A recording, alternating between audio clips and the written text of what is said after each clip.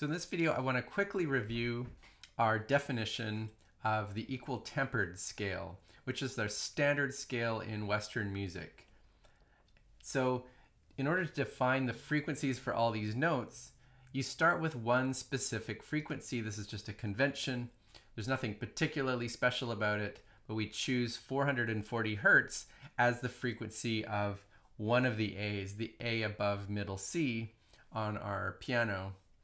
And from there, we define all of the other notes by the interval of a semitone, which we take to be exactly 1 12th of an octave. And so we remember that when we speak about intervals in music, these correspond to multiplying the frequency by a certain amount. Instead of adding a certain number of hertz, what we want to do is multiply by a certain amount. And for the interval of a semitone, that amount is the number 2 to the power 1 12th, or 1.0594, etc. So going from A to B flat, then you just multiply the 440 by this number. Going from B flat to B, you multiply again by that number. And so every time you go up a semitone, you multiply by this number.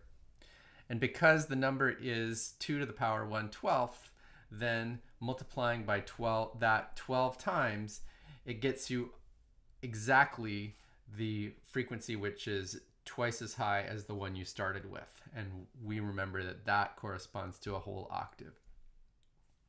And so you might ask, well, why are we dividing that octave up into 12 parts? Why not some other number of parts? Uh, this doesn't, if you play all of the notes, it doesn't sound particularly harmonious, but the reason is that within that 12 notes, you have all of the simplest intervals that we talked about the last time. So all of the simplest intervals in that appear in music, or at least very good approximations to those. So if I go up five semitones, that corresponds to a frequency ratio of 1.335, and that's really close to the interval of 4 thirds, which is a perfect fourth. If I go up 7 semitones, that's 1.498. That's the frequency ratio, and that's very, very close to a perfect fifth. If I go up 3 semitones, that's very close to a minor third. And if I go up 4 semitones, then that is quite close, not as close as the other ones, uh, but still quite close to a major third. So dividing up the octave into those 12 equal parts, we end up getting all of the most important intervals in music.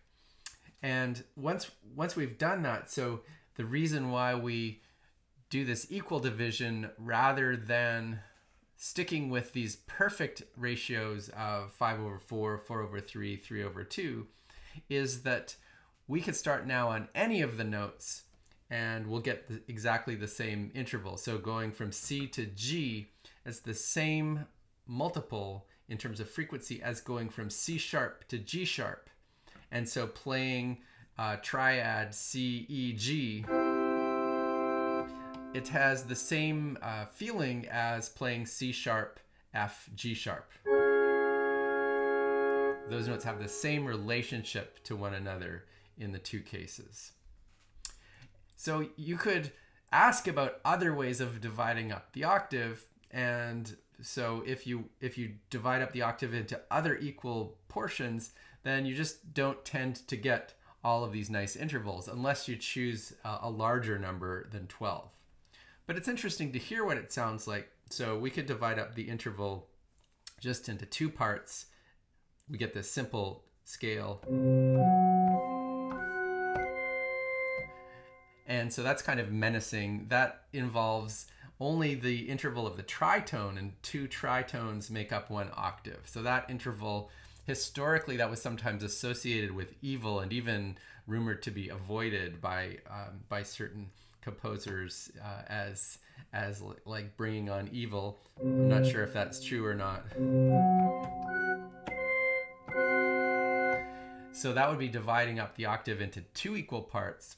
Um, if we divide up the octave into three equal parts, that means that you get major third, major third, major third.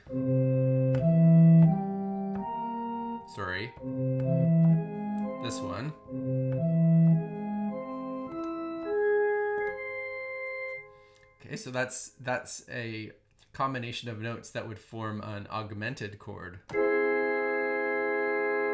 Okay, so maybe not particularly harmonious, but often in music we want to have things that have some tension to them that, that can then resolve. So you might be familiar with this chord in the context of the following.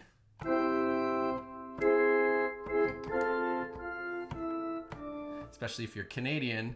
And uh, so that was that's the division of the scale into three equal parts if we divide the scale into four equal parts, uh, that gives a, a, very familiar kind of musical sound, which is the diminished sound. So that was a diminished arpeggio, or if I play all the notes at once, then you get the diminished chord, and that also is is quite common um, as something that would would resolve nicely. appears a lot in various types of music. Uh, and then the final one that is easy to play or that we can play using the regular keyboard is dividing the octave up into six equal parts. And this is what's known as the whole tone scale. So sounds like this.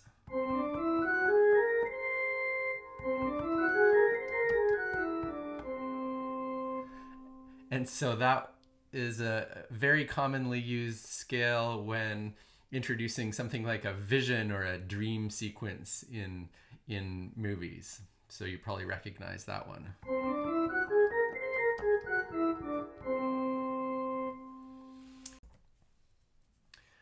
So of course you could also think about dividing up your octave into five equal parts or seven equal parts or more than 12 equal parts. And people have definitely explored that in the past, but you can't play the notes that you would get that way on a regular keyboard. So I won't be able to demonstrate that for you at this point. Uh, we could also think about just dividing up the octave into unequal parts and many scales work that way. So originally uh, a lot of the music did not involve the full chromatic scale and still many compositions only involve just a selection of those 12 notes.